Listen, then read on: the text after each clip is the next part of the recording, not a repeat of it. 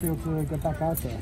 Oh man, fun. Uh, the chemistry, the office was clicking at all cylinders. So I mean, just to be a part of that is something special. And I'm just ready to go to San Jose State. Saw you break out that one run during uh, 11 on 11. Looked like you put a little extra juice on the celebration after. Just how did it feel to kind of knock off the rust? Uh, I wouldn't necessarily say rust. But I mean, just to have that feeling, that type of emotion, and the team to feed off that, I mean, that's just something special. And uh, offense came out and attacked the defense today. No harm to the defense, but I mean, that's just having fun playing football. We just doing our job. How different does this week feel doing like a mock game week than uh, when you had the full pad practices for fall camp? What'd you say? How different does this week feel like mock game week versus like a fall camp practice with full pads? Uh, I mean, it's very different. Uh, we're going into more like a deload week. We need our bodies for next week, and we're just being cautious of everyone's body and make sure everybody come healthy in week one.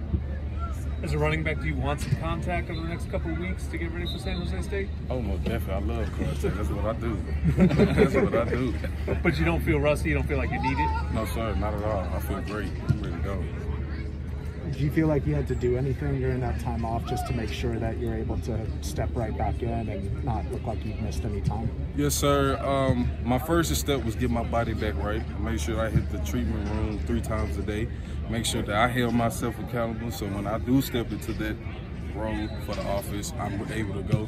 No hesitation none. I'm an older guy. I'm a veteran, so I know what it takes. Did you feel like you were ready to go for Saturday scrimmage? Yes, sir, most definitely. But uh, Coach Helton, he's like, nah, let's let's be smart about it. And I really do respect Coach Helton for that because I feel even better, you know, Monday. So just say thank you to Coach Helton. you have played a lot of football and you played big time football. Does any of this feel new? Uh, no, sir. I mean, football is very universal. I mean, regardless of the scheme, regardless of how it looks, football is still football at the end of the day. So, I mean, coming out here uh, on the West, you know, football is not as heavy as the South, you know, but I mean, football is still football. You think you feel nervous when you come out of the Coliseum the first time? Oh, no, sir. You don't get nervous? Nah. nah. How, Not at all. how, how would you describe it then when you're running out of a tunnel? Uh, what, the Coliseum? No, how you feel when you run out of tunnel before your you know, first game of the season. I mean, this is just something that I do. I love the game, you know, and I really do try to pour, pour my heart and soul into it. And I don't make the situation bigger than what it really is. You know, football is still football, and I got a lot of you know ten guys out there counting on me. So being nervous and hesitant, that's something that I can't put in my game. And one thing that uh, Coach Helton and a lot of other coaches talk about the mental aspect of the game because football is just mental. And I feel like I've pretty mastered that, you know, being an older guy, and I feel it coming off practice day. So, I mean, it's nothing. It's nothing. Do you feel like you need to accomplish anything in practice just to like feel ready for that first game? Um, I say earn my team trust as much as possible. Uh, I feel like that was the biggest thing that I wanted to come out today. Um, even though you know you might not always feel 100%, but I still got to gain my team trust and respect. You know, and I feel like I, that's what I came out here to do today. Was it frustrating not getting that full camp and chance to do that and then the trust and all that? Yes, sir. I was very frustrated, you know, but uh, I do got to put my pride to the side. Uh, we do got to go out there and win some games, and we've been talking about championship the past couple of four weeks, you know. So, I mean, just go out there and just do what I can do and control what I can control at the end of the day. Did you tell Drake anything after that move? Oh yeah, you know I gotta talk a little smack, you know. Darwin referenced you being like a big brother to him over there. Curious how you describe the relationship.